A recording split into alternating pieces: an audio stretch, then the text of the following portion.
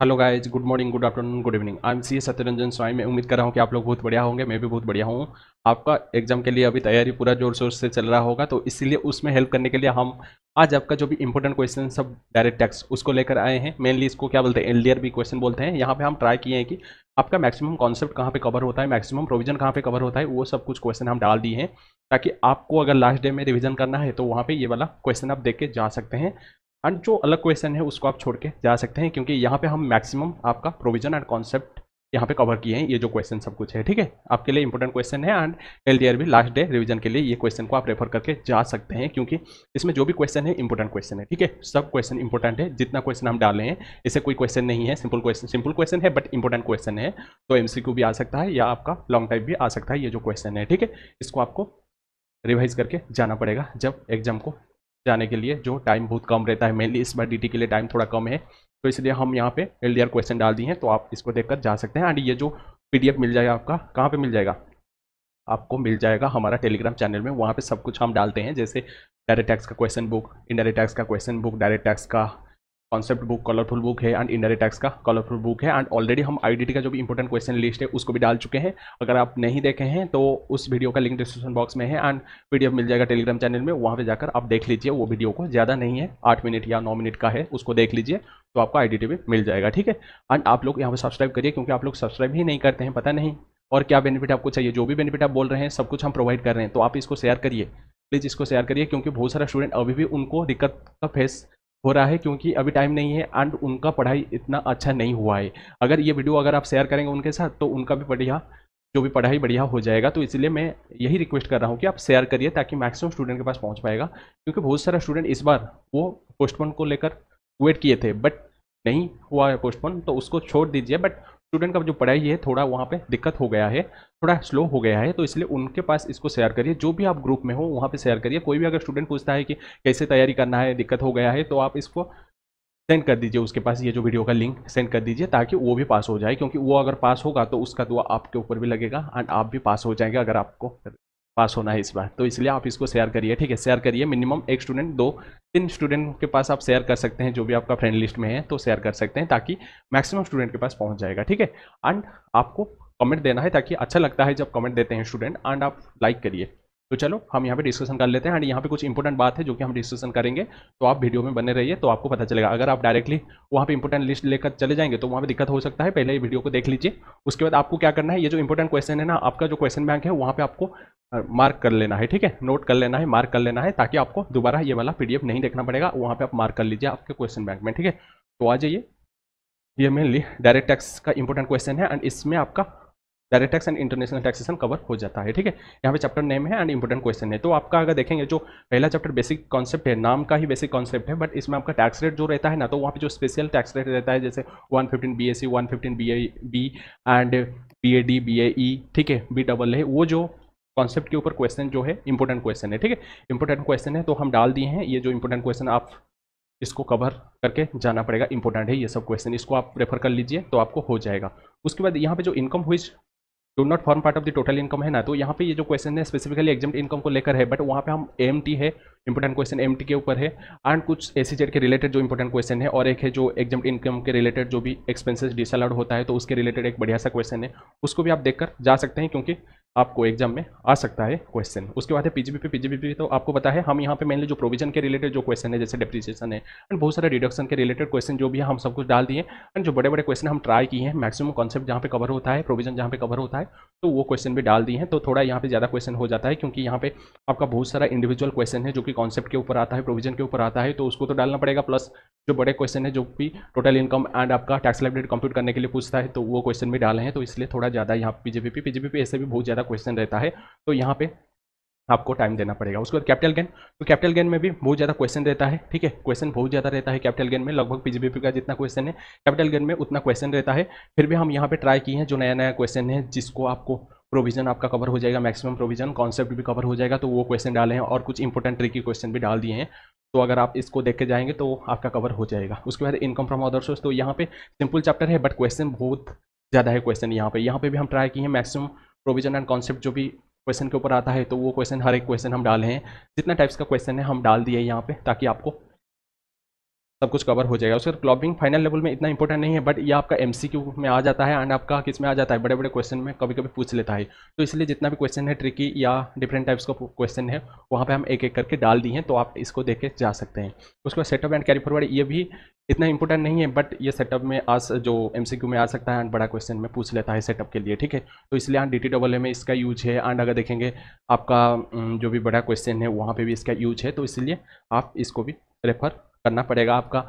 Math का question में भी इसका यूज़ होता है तो इसलिए ये भी इंपॉर्टेंट है। उसके बाद है चैप्टर सिक्स है तो चैप्टर सिक्स का जो भी डिडक्शन है, यहाँ पे भी हम ट्राई किए हैं, जितना डिडक्शन का सेक्शन कवर हो पाए, उतना हम डिडक्शन का जो सेक्शन वाइज क्वेश्चन हम डाल दिए हैं डिफरेंट टाइप्स ऑफ़ क्वेश्चन क्योंकि ये चैप्टर को, ये क्वेश्चन को अगर आप देख लेंगे तो हर एक चैप्टर में जो क्वेश्चन आता है, वहाँ पे डिडक्शन का यूज़ होता है। तो इसलिए चैप्टर सिक्स का यूज़ हर जगह होता है तो आप इसको देख के जा सकते हैं। एंड मैक्सिमम यहाँ पे डिडक्शन का सेक्शन कवर हो जाएगा, ठीक है?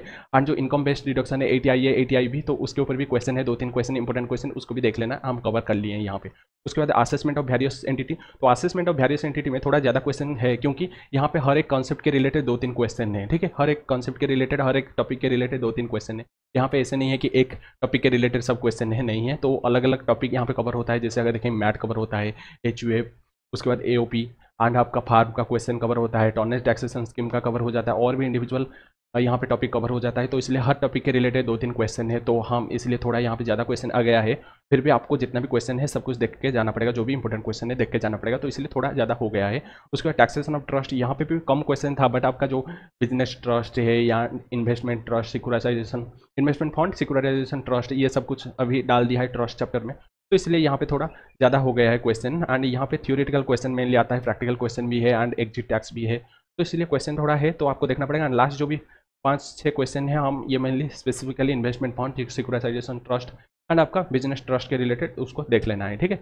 उसके बाद है टैक्स प्लानिंग विभाजन एंड अवॉइडेंस तो ये रिवीजन थोड़ा ज़्यादा नहीं हो पाता है स्टूडेंट का दिक्कत होता है तो इसलिए ये क्वेश्चन आपको देख जाना पड़ेगा, इसमें से आ जाता है क्वेश्चन ठीक है? क्वेश्चन यहाँ पे स्ट्रिक्टली इसको देखना पड़ेगा स्टूडेंट इसको छोड़ देते हैं बट इस चैप्टर का अगर आप ये वाला क्वेश्चन देख लेंगे एंड आपका जो टेबल में डाल दिया हो रिविजन वीडियो में tax planning tax management tax विभाजन टैक्स अवॉइडेंस जो चारों के, जो भी डिफरेंसेस है, वो टेबल अगर देख लेंगे तो आपका पूरा हो जाएगा, ठीक है? उसके बाद है टैक्सेशन ऑफ़ डिजिटल ट्रांजैक्शन ये चैप्टर को देख के जाना पड़ेगा क्योंकि यहाँ पे दो दो इंपॉर्टेंट कॉन्सेप्ट कवर हो जाता है, एक इक्वलाइजेशन ले भी, दूसरा है आपका वर्चुअल डिजिटल एसेट तो लास्ट वाला जो भी चार क्वेश्चन है, ये वर्चुअल डिजिटल एसेट के रिलेटेड है, इसको देख के जाना पड़ेगा. एंड इक्वलाइजेशन भी ऐसे भी क्वेश्चन आता है तो इसको सब कुछ देख के जाना पड़ेगा, ठीक है? डीटी में कोई भी ऐसे नहीं है कि कम इंपॉर्टेंट है, सब कुछ इंपॉर्टेंट है तो इसलिए देख के जाना पड़ेगा. उसमें T D S T C S advance tax आपको तो पता है यहाँ पे कितना सेक्शन होता है टी डी एस में टी सी एस में. बट हमको थोड़ा ज़्यादा लगता है कि टीसीएस पार्ट में क्वेश्चन आता रहता है, क्योंकि अमेंडमेंट वहाँ पे आता है, जो two zero six C one G and one H ये दोनों सेक्शन में ज़्यादा क्वेश्चन आता है तो इसलिए आप थोड़ा टी डी एस को आप ध्यान दे सकते हैं। ये वाला क्वेश्चन थोड़ा देख लेना, क्योंकि टी डी एस में बहुत ज़्यादा क्वेश्चन में सेवेंटी क्वेश्चन लगभग है तो इसमें से हम ट्राई किए कुछ फोर्टी क्वेश्चन है तो उसको देख के जाना पड़ेगा, क्योंकि ये टी डी एस में छोटे छोटे क्वेश्चन बहुत पूछ लेता है एंड नया सेक्शन भी बहुत ज़्यादा है तो इसलिए यहाँ पे ये हर एक हम ट्राई किए हैं कि हर एक सेक्शन का क्वेश्चन कवर करने के लिए ताकि आपको भी कोई भी ऐसे सेक्शन नहीं छूटेगा कि उसके ऊपर क्वेश्चन नहीं है। तो हर सेक्शन के ऊपर यहाँ पे क्वेश्चन कवर हो जाता है। उसके बाद इनकम टैक्स अथॉरिटीज है। यहाँ पे जो भी क्वेश्चन है, ये थ्योरेटिकल क्वेश्चन है, इसको देख के जाना पड़ेगा। प्रैक्टिस ना कर पाए रिटर्न प्रैक्टिस नहीं होगा तो भी चलेगा बट देख के जाना पड़ेगा क्योंकि ये थ्योरेटिकल चैप्टर है। असेसमेंट प्रोसीजर यहाँ पे भी आपका दो है, एक रिटर्न फाइलिंग एंड दूसरा असेसमेंट प्रोसीजर तो इसलिए यहाँ पे भी क्वेश्चन थोड़ा ज़्यादा है, फिर भी आपको देख के जाना पड़ेगा। ठीक है ऑफ़िस रिविजन यहाँ पे भी क्वेश्चन है। फिर भी हम ट्राई किए हैं कम से कम क्वेश्चन डालने के लिए, उसको थोड़ा देख लेना। एंड डी है डी है, यहाँ पे चार क्वेश्चन है। ये आपका मेनली असेसमेंट प्रोसीजर में कवर हो जाता है बट हम क्या किए क्योंकि ये जो डीआरसी है डीआरसी का जो भी क्वेश्चन है, ये दो तीन क्वेश्चन यहाँ पे कवर हो जाता है। आपका असेसमेंट प्रोसीजर में कवर हो जाता है। बट वहाँ पे हम इंपोर्टेंट में नहीं डाले हैं। हम डायरेक्टली जो भी डीआरसी में क्वेश्चन है, उसको डाल दिए तो यहाँ पे जो असेसमेंट प्रोसीजर में आप जब देखेंगे तो वहाँ पे कुछ डीआरसी के रिलेटेड क्वेश्चन है, जो कि हम नहीं इंक्लूड किए हैं। आपको अगर वहाँ पे लगेगा कि सर, ये वाला क्वेश्चन भी इंपॉर्टेंट था बट सर क्यों नहीं डाले हैं? क्योंकि डीआरसी के रिलेटेड जितना भी क्वेश्चन है, हम सब कुछ यहाँ पे डीआरसी में डाल दिए तो इसलिए आपको अगर यहाँ पे मिलेगा डीआरसी रिलेटेड कुछ क्वेश्चन आप वहाँ पे टेंशन मत लेना, क्योंकि उसके रिलेटेड जो भी क्वेश्चन हम डीआरसी में वहाँ पे इंपॉर्टेंट मार्क कर लिए हैं, जितना भी क्वेश्चन है, ठीक है? उसके बाद मिसलानियस प्रोविज़न तो मिसलानियस प्रोविज़न में मेनली आपका two nine sixty nine S T ये जो क्वेश्चन है एंड आपका लाइबिलिटी वाला जो क्वेश्चन है, इसको थोड़ा देख लेना, क्योंकि हमारा जो बुक में है ना, हम लाइबिलिटी टू जो इन सर्टन केसेस में तो वो वाला चैप्टर हम मेनली नहीं डाले हैं। वहाँ पे बहुत ज़्यादा चैप्टर था तो इसलिए नहीं डाले हैं। ये क्वेश्चन अगर देखेंगे तो वहाँ पे आपका कवर हो जाएगा। जैसे लिक्विडेटर जब अपॉइंट होता है कैसे जीएसटी के साथ सेम है बट लिक्विडेटर जैसे अपॉइंट होता है तो वहाँ पे क्या होगा? एंड प्राइवेट कंपनी में जब वो क्या होगा? जब बंद हो जाता है तो वहाँ पे डायरेक्टर लाइबल होंगे क्या? तो उसके रिलेटेड कुछ क्वेश्चन है तो उसको आपको देख लेना है, ठीक है? ये आपका मेनली यहाँ से शुरू हो जाता है कुछ लाइबिलिटी वाला पे। इन सर्टेन केसेस तो वो चैप्टर को आपको देखना पड़ेगा, ठीक है? उसके बाद है, ये चैप्टर भी इंपॉर्टेंट है provision to counter act on ethical taxes क्योंकि यहाँ पे आपका, एक तो आपका पेनल्टी चैप्टर खत्म कवर हो जाएगा एंड दूसरा है आपका यहाँ पे प्रोसिक्यूशन चैप्टर एंड तीसरा है आपका ब्लैक मनी वाला। तो ब्लैक मनी वाला आपका लास्ट वाला जो भी क्वेश्चन है, लगभग हमको लग रहा है कि ये कुछ ट्वेंटी वन या ट्वेंटी टू से शुरू होकर जो भी क्वेश्चन है, उसको थोड़ा रेफर कर देना है, क्योंकि ब्लैक मनी एक्ट नया आया है एंड जितना भी क्वेश्चन है, सब कुछ आपको देख के जाना पड़ेगा, ठीक है? उसके बाद है टैक्स ऑडिट है तो टैक्स ऑडिट में जो भी क्वेश्चन है, सात क्वेश्चन उसको देख लेना है, क्योंकि ये आपका mainly case study based question है, ये आपका आ सकता है आईबीएस में। फिर भी इसको आपको देखना पड़ेगा। आईबीएस में ऐसे क्वेश्चन आ सकता है तो इसलिए डीटी में भी आ सकता है।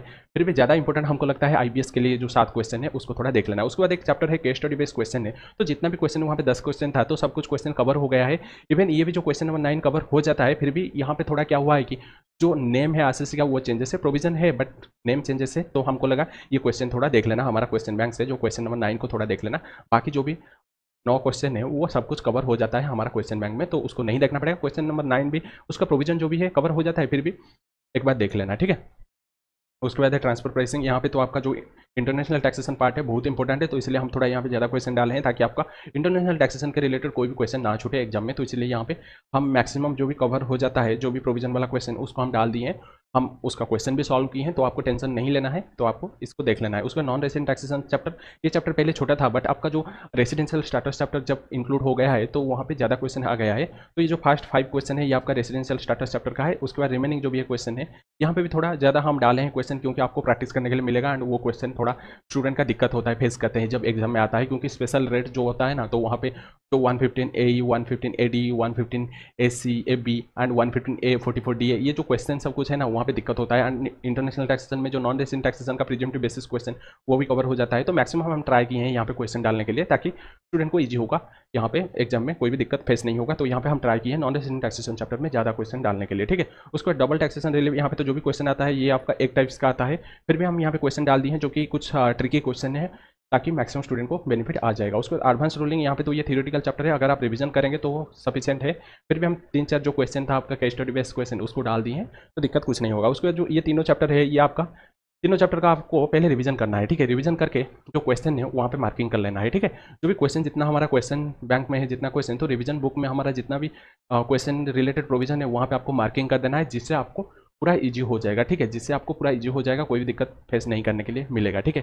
कोई भी दिक्कत फेस करने के लिए नहीं मिलेगा तो ऑल आपका यहाँ पे क्वेश्चन इंपॉर्टेंट है, फिर भी आपको रिवीजन करने के बाद आपको पता चल जाएगा, ठीक है? रिवीजन करने के बाद आपको पता चल जाएगा, फिर भी हम ट्राई कर रहे हैं इसके ऊपर एक वीडियो बनाने के लिए, ये तीनों के ऊपर। आपको अगर कोई भी दिक्कत फेस होता है तो हम आपके लिए हैं तो टेंशन मत लीजिए, ये तीनों चैप्टर के लिए हम मार्किंग कर लेंगे, यहाँ पे आपको पढ़ना पड़ेगा, ठीक है? यहाँ पे आपको पढ़ना पड़ेगा तो आप उतना पढ़ लेना हो जाएगा, ठीक है? तो यहाँ पे आपका डीटी का पूरा खत्म हो जाता है इंपॉर्टेंट क्वेश्चन तो यहाँ पे आपको क्या करना है? आपको पढ़ना पड़ेगा। अभी टाइम नहीं है, आपको बहुत ज़्यादा मेहनत करना पड़ेगा। आपको पता होगा हम कितना मेहनत कर रहे हैं, ठीक है? हम अभी भी मेहनत करते हैं सेवेंटीन एटीन आवर मेहनत करते हैं। ऐसे नहीं है कि हम मेहनत नहीं करते हैं। हमारा अभी बैच चल रहा है फास्ट ट्रैक रेगुलर बैच चल रहा है फार्म भी चल रहा है प्लस आपके लिए वीडियो बना रहे हैं। इतना ईजी नहीं है। ठीक है, बनाने के लिए। फिर भी हम बना रहे हैं। क्यों बना रहे हैं? क्योंकि आपके लिए जितना एग्ज़ाम इंपॉर्टेंट है, आप भी मेरे लिए उतना इंपॉर्टेंट है। आपको पास करना है विथ एग्जामेशन तो इसलिए हम आपको सब कुछ बेनिफिट प्रोवाइड कर रहे हैं। तो आप जब पास करेंगे, तभी जाकर मेरे को गिफ्ट मिलेगा। वही रहेगा हमारा मेन गिफ्ट रहेगा। हमको कुछ नहीं चाहिए आपसे। बट आप जब पास करते हैं तो वो जब हमारे साथ शेयर करोगे, तभी जाकर हमको असली खुशी मिलेगा कि हाँ सच में हमारा स्टूडेंट पास हो गए हैं और कुछ नहीं चाहिए। तो इस वीडियो को शेयर करिए, ताकि स्टूडेंट अभी जो लो फील कर रहे हैं तो उनके साथ आप शेयर करिए, ताकि वो भी थोड़ा उनको कॉन्फिडेंट मिलेगा। जो फियर लग रहा है तो फियर भी नहीं लगेगा। बहुत ज़्यादा मैसेज मेरे पास आ रहा है कि, सर, अभी टाइम नहीं है, बीस दिन है, कैसे करेंगे, क्या करेंगे? तो बहुत ज़्यादा मैसेज आ रहा है। तो हम ट्राई कर रहे हैं उनका जवाब देने के लिए बट लेट हो जाता है क्योंकि बहुत ज़्यादा मैसेज है एंड काम भी बहुत ज़्यादा है। तो हम ट्राई करते हैं जितना जल्दी हो सके उनके पास जो भी उनका आंसर देने के लिए। तो आज के लिए इतना ही। मिलते हैं नेक्स्ट वीडियो ठीक है, मिलते हैं नेक्स्ट वीडियो